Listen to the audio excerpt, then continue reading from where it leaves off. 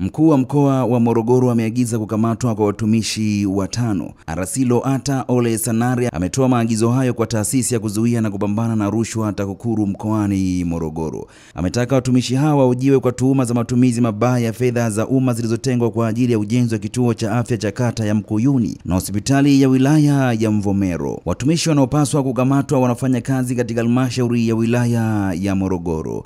Mheshimiwa Waziri Mkuu alipita wilaya hii na akatoa maelekezo nini cha kufanya. Tulikuwa na wajibu wa kuangalia pamoja na kujitambulisha ni nini kimefanyika. Tumeanza zahanati ile ya Mkuuni, lakini tukaja hospitali ya wilaya, hali si nzuri. Imetekelezwa yale kwa, kwa kweli kwa kazi ndogo, tumejaribu kukaa na kuelekeza kwamba sasa hiyo spidi lazima iongezeke. Tunashukuru sana Mheshimiwa Mkuu wa wilaya yuko mbioni kuhakikisha kwa kweli yale yanatekelezwa.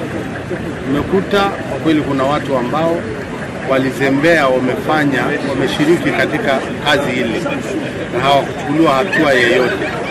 Sasa tumeelekeza TAKUKURU na vyombo vingine vyote vichukue hatua kwa wale wote ambao hawakuchukuliwa mpaka sasa hivi, lakini wale ambao wamehusika katika kufanya hata yale makusanyo ya ndani umekuta zaidi ya Hii ni Uhondo Update. Mimi naitwa Fadhili Komba.